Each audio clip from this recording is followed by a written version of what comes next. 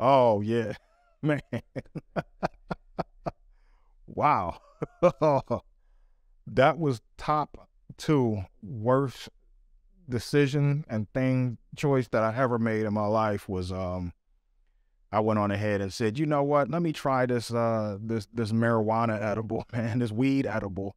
It probably has, you know, big, big health benefits and um, you know, this marijuana herb. Let me just get it in my system. It was uh, um it was a brownie, man. It was a full brownie, like about this big, and uh I ate the whole thing.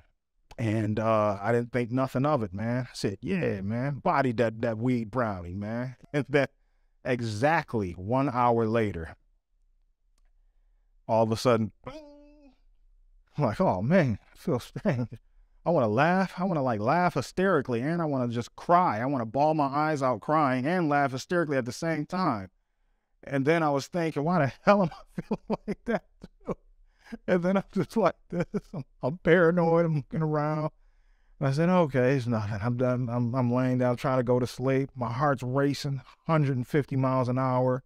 I'm seeing little frogs jump around, it feels like. And for some reason in my vision, I don't know. I'm not saying I was hallucinating, but I just kept seeing a clock just go like this so fast and just frogs I remember. And I'm just like, oh, shoot.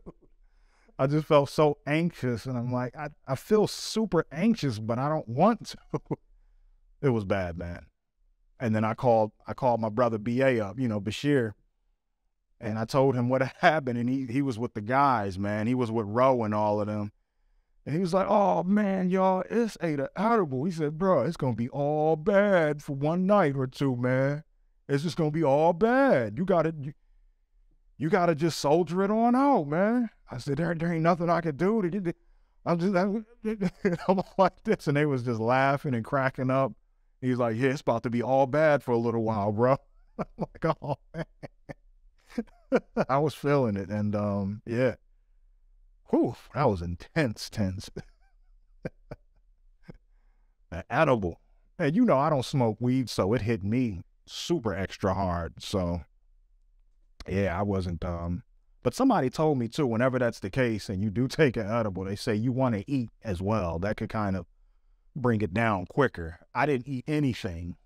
it was like, yikes. It took two days for sure. Two days for it to uh, gradually start winding down.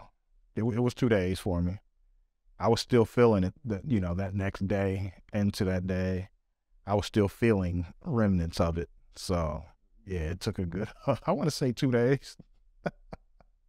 Because again, I hate the whole thing. And, you know, I'm not a marijuana smoker, so I didn't have a high tolerance for it. My system didn't. So, yeah, it hit me super hard.